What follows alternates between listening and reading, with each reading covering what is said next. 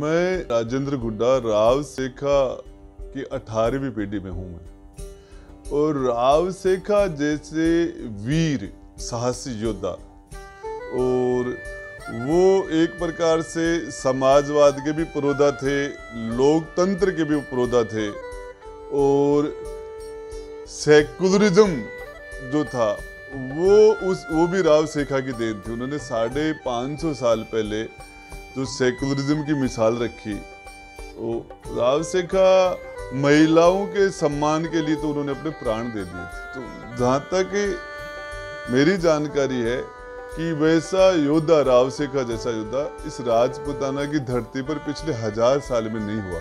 हज़ार साल में।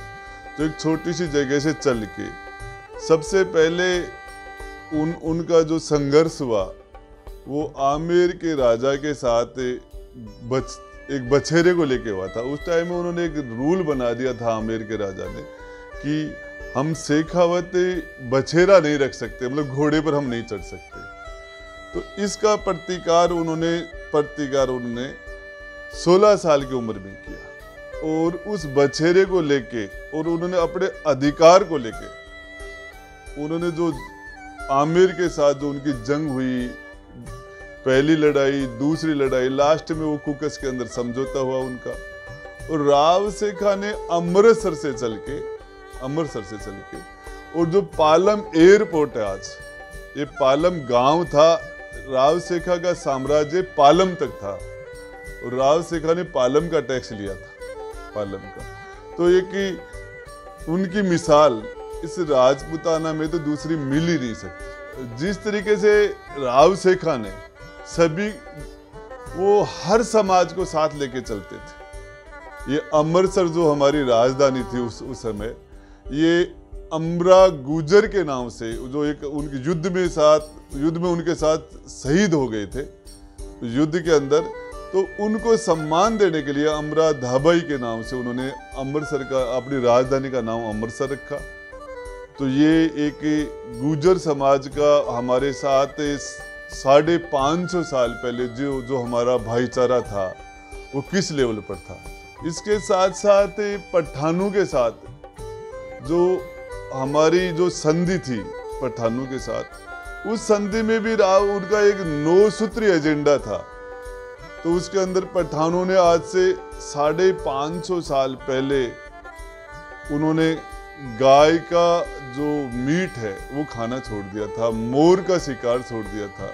और जिस तरीके से हमने साढ़े पाँच सौ साल पहले सूर का शिकार करना छोड़ दिया था, ये हमारी एक सांप्रदायिक, सौहार्द की एक उस टाइम की बहुत बड़ी मिसाल है। और राव सेखा ने तो पूरी ज़िंदगी उनका एक नारा था, उत्तर में जाना, हलाल का खाना और उन्होंने जितनी भी लड़ाई जंग लड़ी और उसकी जो आखिरी जंग जो रलावता के अंदर हुई राव सेखा की, वो एक महिला के सम्मान के लिए। मतलब आज हम जिस तरह की बातें करते हैं, आज आज़ादी के पचहत्तर साल बाद में भी हम जो अधिकार महिलाओं को नहीं दे पाए, वो आज से साढ़े पाँच सौ साल पहले हमारे पूर्वजों ने, जिसकी जो राव सेखा के नेतृत्व के अंदर जो रलावता में जो युद्ध हुआ और एक महिला के सम्मान के लिए तीन तीन पीढ़ियाँ एक साथ हमारी तीन तीन पीढ़ियाँ एक साथ एक साथ कट गई थी। तो मैं आपको बताना चाह रहा हूँ जो ये राव सेखा जिनका जीवन मात्र बावन साल का रहा और युद्ध के मैदान में उनके वो, वो लास्ट के अंदर वो शहीद हुए। बावन साल की उम्र में बेहतर लड़ाइयाँ जीती। कोई जंग, उन्होंने अपनी ज़िंदगी में कोई जंग हारी नहीं। ये उनका युद्ध कौशल था, उनका मुकाबला।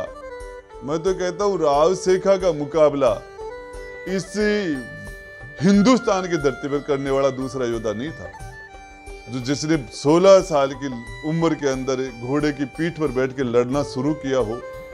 और उन्होंने उस टाइम में जो आज हम जिस समाजवाद की बात करते हैं, ये समाजवाद राव सेखा ने उसी टाइम से, उन्होंने कह दिया था, आल आर इक्वल और आल आर भव्य सब के सब समान है, नहीं कोई बड़ा होगा, नहीं कोई छोटा होगा। और वही वही कारण है कि आज हमारे शेखावाटी में सभी लोगों के अंदर जो नेतृत्व का जो गुण है, इसका मेन कारण यह है कि यहाँ पर सभी लोगों के अंदर जो लीडरशिप के गुण आए और आज राजस्थान की धरती के ऊपर हम शेखावत राव शेखा के जो वंश है, चाहे चाहे भैरू सिंह जी शेखावत हो, चाहे हमारे इस लोकतंत्र के अंदर भी हम जिस, हमारे केंद्र के अंदर हमारे मंत्री हैं, हम उपराष्ट्रपति भी हैं, रहे हैं, हमारे विधायक हैं, हमारे सांसद हैं, और आज भी राजस्थान की धरती के ऊपर ये राव शेखा का वंशज इस लोकतंत्र के अंदर भी फल फूल रहा है, और ये संस्कार हमारे डीएनए के अंदर है। तो मैं तो बताना चाह रहा हूँ कि वैसा योद्धा, अब सच बात यह है कि न उनके पास कोई बहुत बड़ी बहुत बड़ी स्टेट नहीं थी, लेकिन उन्होंने इस लेवल पर एक छोटे से ठिकाने से चल के उन्होंने पूरी ज़िंदगी भर उन्होंने जो जंग की तो हम सारे लोगों के लिए रावसेका हमारे लिए हमारा प्राउड है। हम रावसेका के ऊपर जितना प्राउड करें, उतना कम है। और हमें इस बात का फख्र है कि हमारी रगों के अंदर रावसेका का खून बहता है।